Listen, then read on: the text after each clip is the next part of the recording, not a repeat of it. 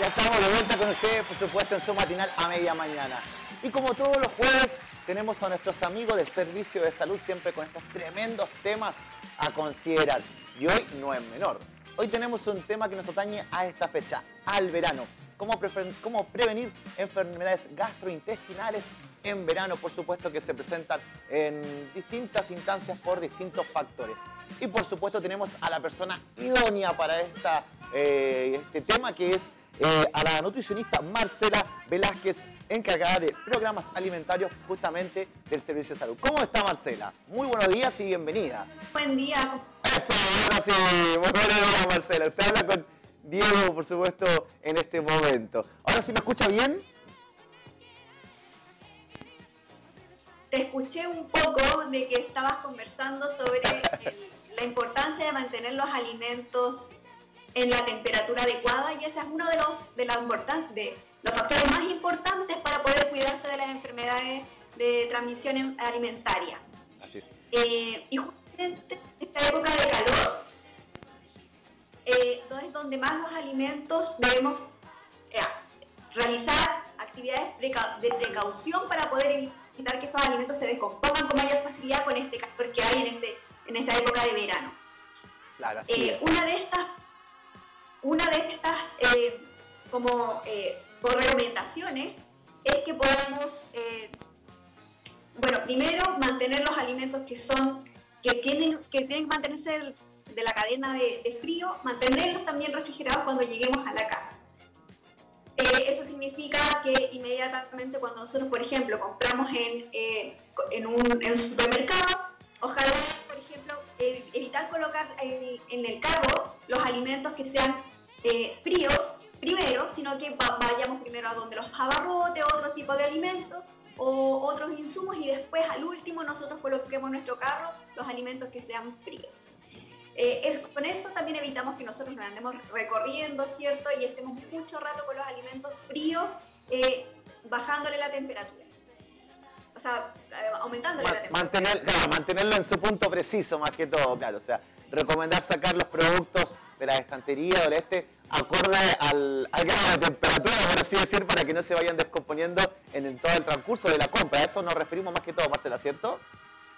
pero me imagino que me imagino que igual una, una de las posibilidades es, eh, por ejemplo, comprarse una bolsita que mantenga también el frío de los alimentos. Hay unas, ah. bolsitas que son refrigerantes y una buena esa es una buena opción, que nosotros podamos echar esos alimentos ahí, eh, entonces para que se mantenga la cadena de frío hasta que lleguemos a la casa. Oye, Marcela, en, esta, eh, Perdón, siga, siga, siga, siga, perdón, siga. En, esa misma, en esa misma línea, eso es como parte de, las compras. También he, visto, por ejemplo, que en los lugares como eh, en, en, el agro, por ejemplo, he visto que mantienen los alimentos que se debería mantener refrigerados, los mantienen al aire libre, por ejemplo, los yogur. Y eso en realidad igual puede ser que eh, después, como se pierde la cadena de frío, nos afecten en la salud. Es muy importante ver que esos alimentos que se tienen que mantener eh, frío, como el, yogur, el queso, todos esos alimentos lácteos, se deben mantener eh, refrigerados, que nosotros veamos que en el local esté también bien refrigerado, para evitar también que nosotros nos enfermemos.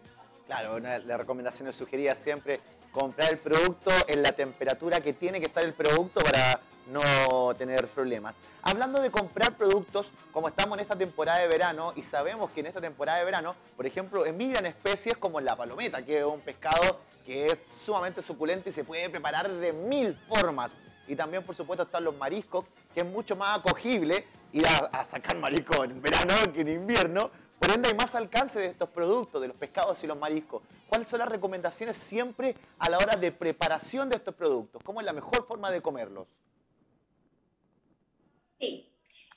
Eh, bueno, los pescados y también los mariscos son uno de los alimentos que eh, también nosotros como mariqueños también acá se consume bastante y se consume bastante crudo. Eh, en forma en el ceviche, ¿cierto? Que es lo más común. igual, lamentablemente, el limón que se le echa al, ceviche, al, pescado crudo, no cose los alimentos, no, no, no es que los cueste, entonces eh, nosotros tenemos una, eh, una idea, una idea errónea de, de, que en realidad estamos comiendo un, alimento que está bien cocido y no es así, el limón no lo posee. Entonces, sí o sí debiéramos tratar de consumirlos ahora eh, cocidos, cocidos, eh, y lamentablemente el ceviche eh, en esta época, sobre todo donde hay más calor, hay más posibilidades de que se eche a perder más luego. O si no, consumirlo en unos lugares que sean establecidos. Tratar de evitarlos en, en general, pero si no se puede, por último, que sea eh, comerlos en un local que sea establecido, con resolución sanitaria. Y eso también nos asegura que la manipulación de los alimentos está correctamente en ese lugar. Acabamos, acabamos de romper un mito entonces. Acabamos de romper un mito que el limón cose los alimentos. Ya sabemos que no es verdad. Así que no, no, si le echo un, litro de limón, no. No se el, producto no se va a cocer. Así que ya sabe ya todo lo que es productos, eh, pescado, mariscos, productos del mar en sí. Eh, manténgalos en cocción para su preparación. Eh, porque igual, obviamente, hay mucha otra, otra forma de prepararlo, pero siempre la más segura es esa. Marcela, yo siempre en cocina he escuchado este comentario que dicen eh, de la contaminación cruzada. La cocina evitar la contaminación cruzada de alimentos. Siempre lo he escuchado una que otra vez por ahí, eh, pero nunca alcancé a entenderlo bien a qué se referían. ¿Y nos influye en este momento justamente a esa contaminación cruzada de alimentos? Ah, eh, sí, bueno, la contaminación cruzada es para todas las épocas en realidad. la contaminación cruzada significa eh, nosotros eh, colocar en contacto alimentos crudos con cocidos. Y no solamente los alimentos, eh, sino que también, por ejemplo, los utensilios que ocupamos o con las manos que los manipulamos. ¿ya? Y cuando nosotros hacemos este, esta, este contacto de alimentos crudos cocidos a través de utensilios, de nuestras manos o los mismos alimentos, lo que pasa es que transferimos bacterias a ese, a ese alimento y eso nos puede causar eh, enfermedades gastrointestinales, que son muy comunes en estas épocas, pero en realidad en la contaminación cruzada se pasa en cualquier minuto. Y para poder evitar esta contaminación cruzada, lo que se, se, recomienda es que principalmente haya una buena higienización de manos, que ahora, bueno, con la pandemia, como que todos volvemos a repasar todo, todo el, el, correcto lavado de manos, lo hemos hecho durante casi dos años, un poquito más, eh, entre una, una, manipulación de un alimento y otro, sobre todo uno que sea crudo y después uno cocido o uno crudo pero que vamos a consumir inmediatamente, por ejemplo como las ensaladas o las frutas. Eh, y lo otro también es mantener utensilios que sean separados para manipular alimentos crudos y cocidos. Por ejemplo, tener una tabla eh, que sea especial para cortar, por ejemplo, carnes o carnes crudas, por ejemplo, y otra distinta para manipular los vegetales o las frutas mm, o otros alimentos que nosotros los cocidos o inmediatamente lo vamos a servir. Eso es una forma de poder evitar la contaminación cruzada, la higienización de manos y eh, también, también podemos ver la contaminación cruzada en los refrigeradores, cuando nosotros almacenamos los alimentos. Cuando nosotros almacenamos, por ejemplo, carne o descongelamos carne el día anterior, ¿cierto? Que la bajamos del congelador al refrigerador, eh, de repente no la guardamos bien o no la almacenamos de la forma correcta y le llegamos y la colocamos en el refrigerador y caen algunos líquidos, ¿cierto? Cae un poco de sangre y eso contamina todo el resto de los alimentos. Y eso es un tipo de contaminación cruzada. Entonces lo que debemos hacer es mantenerlos en un, en un tupper, ¿cierto? En un, en un recipiente, ojalá hermético, cosa de que si es que vaya a caer algún fluido, este no se, no toque a los otros alimentos. Y con eso evitamos la contaminación cruzada. Separar todo, en otras palabras, separar todo, separar todo lo que es eh, utensilios eh, de una cosa a otra cosa, lo que es refrigeración, todo, dejarlo bien eh, apartado, lo suyo con lo suyo, en otras palabras, para que así no, no, no Y por supuesto siempre una buena higiene que últimamente igual... Y otra cosa es también lavar bien los utensilios. O sea, si yo voy a utilizar un cuchillo o algo para manipular alimentos que sean crudos, debo lavarlo, ese, ese utensilio con mayor precaución, o sea, con mayor cuidado que los otros utensilios, para después dejarlo, ¿cierto?, em, juntos con los otros. Pero deben primero ser bien lavados. ese otro también que es... ese es un clásico error que pasa, ese es un clásico error que pasa en realidad, la del utensilio. Como no se ensució tanto, a lo mejor le paso un pañito y sigo cortando y dale, que dale no O, claro, un, un chorrito de agua y en realidad con eso no, no, lavamos bien, tiene que ser bien, bien lavadito, con mucho más cuidado que los otros. Y lo otro es el lavado, el buen lavado de las, de las verduras, de las frutas, eh, lavarlas, por ejemplo, si son con hojas, eh, tienen que lavarse hoja por hoja, eh, bien toda la hojita, ¿cierto? No solamente para sacar los, los, bichitos o lo que se vea o la tierra que se vea, ¿cierto? Por la superficie, sino que también con eso nosotros estamos cuidándonos de las enfermedades de transmisión de los alimentos. Em, y también, también se, se utilizan igual unas soluciones que también se venden, que son para eh, desinfectar las frutas y verduras, que también las podemos utilizar. Y si no tenemos y no disponemos de eso, también podemos utilizar eh, cloro, cloro normal, una cucharadita de cloro pequeñita en 3 litros de agua, con eso dos minutos sumergimos la fruta y verdura y con eso desinfectamos nuestros alimentos también. Sí, igual a veces eh, no se suele hacer casi la fruta. A la fruta y verdura por lo general uno les tira agua y, y sería. Ya quedó, quedó, como se ve brillosa, listo, ya está limpia en realidad hay que ahí lavarlo con todo, con todo amor y cariño, ahí, hoja por hoja en realidad. Oiga, hablando de lo que son, eh, claro, ciertos productos como la fruta las verduras, eh, en, esta, en estas instancias particulares, ¿de qué otros alimentos tenemos que tener mucha precaución a la hora de ingerirlos? Eh, tenemos igual, el huevo es un alimento igual que, que transmite bacterias como la salmonela, y el huevo también hay que tener una, una manipulación un poquito más cuidadosa. Por ejemplo, em, cuando nosotros compramos los huevos, ¿cierto? Que los venden ahí como en el aire libre, eh, no los mantienen a una temperatura específica, idealmente nosotros llegar a la casa y refrigerarlos inmediatamente a través de algún tupper que sea especial, que coloquemos los huevitos ahí separados, ¿ya? Porque estos están sucios, ¿ya? No, no, no. Lo ideal es que no los lavemos hasta que nosotros los vayamos a ocupar. Si nosotros los vamos a ocupar, los sacamos y los lavamos ahí mismo. ¿Por qué no, se, no lavarlos antes? Hay muchas personas Ahí nos pegamos un poquito con Marcela. Que los lavan inmediatamente cuando los compran y después los se hablan y ahí ingresan ellas al huevo. Entonces eso causa que nosotros nos podamos enfermar. Entonces idealmente lo guardamos, lo refrigeramos y lo guardamos tal cual como lo compramos y lo refrigeramos y después cuando lo utilicemos lo lavemos y después lo utilicemos para las preparaciones. Eso también el huevo eh, y cocerlo, siempre cocerlo. Evitar en el huevo los eh, el huevito a lo mejor que quede un poco crudo, como el huevo a la copa, huevo pochado, que no está totalmente cocido. O el huevo con limón a veces, que también es rico, pero es, es delicado, que lo tiran directo y lo empiezan a batir en realidad que queda bastante ahí, bueno, pero evitémoslo, evitémoslo. No quiero tentar con eso, porque eh, hay que tener todo el cuidado posible. Oiga, eh, cuénteme, eh, siempre dentro de comer frutas es recomendable en esta instancia consumo de fruta y verdura, pero algún, algún tips, alguna, alguna propuesta así como que nos diga, como dentro de su conocimiento amplio, lo que es nutricionista, como nutricionista, nos puede decir, mira, cómanlo así. Estas son unas formas muy eh, ricas y a la vez saludables de comer la fruta y la verdura. En esta época de calor, eh, sirve, por ejemplo, ahora utilizar las frutas para hacer helados caseros, em, donde nosotros si lo hacemos en nuestra casa va a ser mucho más saludable que si nosotros los compramos afuera y además más barato.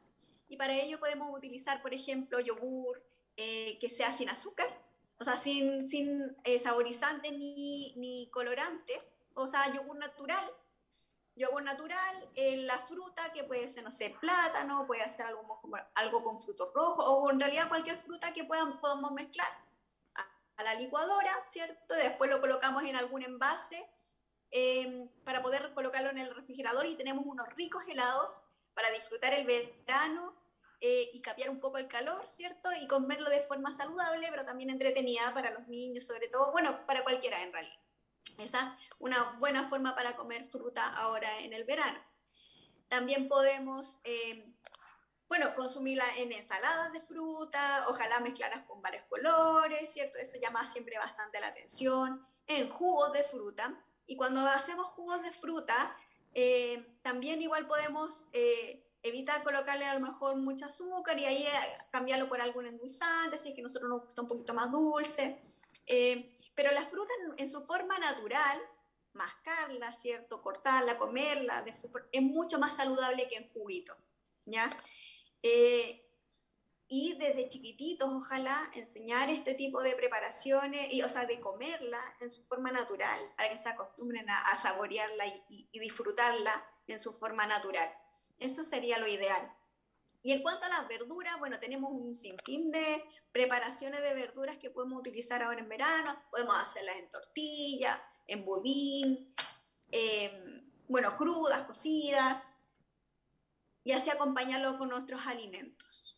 Mira, hay varios, tips de cómo eh, comer la fruta, ¿verdad? Porque a veces uno dice, es fome comer fruta, y yo creo que va por ahí a veces, ¿no? como que no, no te inspira agarrarla, lavarla, pero claro, ahí de repente le podemos dar un detalle, un plus para que, oye, qué, rico es comer un helado en, verano, ¿no? Y bueno, y hacerlo naturalmente. Oye, una, pregunta ligada eh, a lo que es la fruta, porque muchos dicen que la fruta, por ejemplo, hay frutas que tienen mucho más azúcar que otras también. Eh, dentro de eso mismo, eh, lo que es la porción de fruta, ¿cuánto es lo recomendado diariamente en comer fruta y cuánto es lo mínimo también sugerible a comer fruta? ¿Me alcanzó a escuchar Marcela? Perdón, se fue.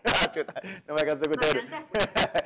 Le decía que justamente eh, la fruta, eh, eh, muchos dicen que tiene mucha azúcar, algunas, otras no tienen casi nada, pero siempre, ¿cuál es como la porción recomendada a comer como máximo de fruta y cuál es lo mínimo? ¿O cuál es el rango medio de decir, ya, mira, come esta cantidad de fruta al día es que te va a ayudar a a equilibrar tu nutrición y todos esos factores. ¿Cuánto es la porción más adecuada en lo que es nivel de fruta?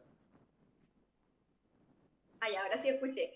Eh, la fruta eh, se recomienda consumir tres porciones, o en realidad son cinco porciones de frutas y verduras al día. ¿Ya? Entonces ahí podemos ir mezclando, a lo mejor un día comemos más frutas y a lo mejor completamos nuestras, tres, nuestras cinco porciones con pura fruta, otro día podemos mezclar dos, dos porciones de verduras con tres frutas y así. Eh, podemos ir variando, ¿no? no es necesario que sea tres frutas al día o, y, solamente dos de verduras, sino que podemos ir mezclando. La cosa es que en, en total en el día tengamos cinco porciones de frutas y verduras, ojalá, mezclado. y la porción, eh, y la y la porción eh, de fruta, por lo general la podemos medir en taza, ¿ya? En taza, eh, una taza que haga 200 ml de agua, porque ahora hay tazas como de casi medio litro, ¿cierto? Y ahí ya nos excedemos.